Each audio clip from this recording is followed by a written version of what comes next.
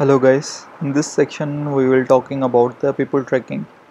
Uh, actually this is the simple script of the model of the Caffe which loaded. And uh, so some uh, files you can see uh, centroid tracking.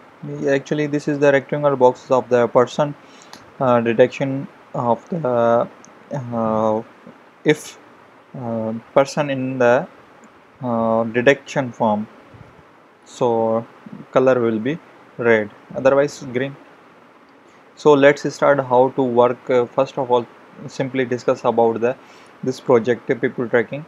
This script de uh, detections uh, persons and keep tracking in the frame.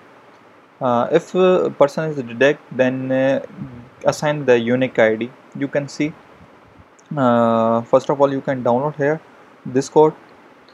Okay then you can download one folder. I am already download my YouTube directory here you can see. You also see the simple two videos uh, which we used. You can see this simple video first and second. Actually I am uh, targeting this video.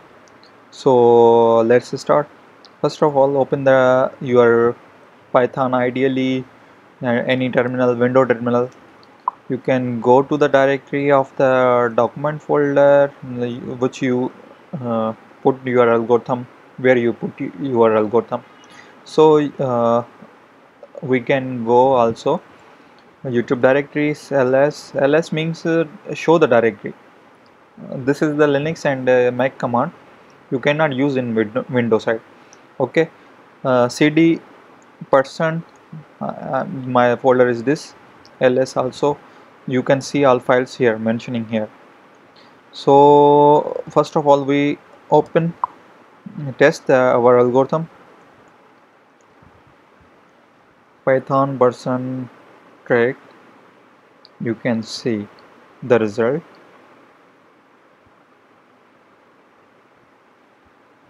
First second third and uh, fourth give assign the id so let's start the discuss a simple code. I'm open open the, my editor sublime editor. You can see the loaded model. First of all uh, uh libraries. Here you also see the centroid tracking library.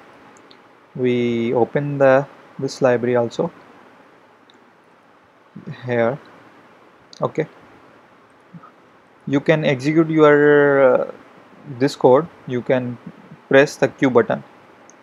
Okay this is the loaded uh, loaded model. Here the uh, detector. So your class which uh, we target the person actually. Then you can uh, assign the class boxes. Here you uh, mention the one color of the red. Uh, here your camera also you, you can use camera. Uh, I am using the video file. You can see also. Here the classification of the person. So here the ID uh, our the closing window. Actually this uh, function will be used in the rectangle box. You can also see the uh, some rectangular in the person. You uh, we already discussed this library of the centroid how to work and uh, I am also commenting all these uh, files names how to uh, use. So I hope you can like it. Any confusion any uh, su suggestion any kind of help you can comment down. Support our channel. Hope you like it uh,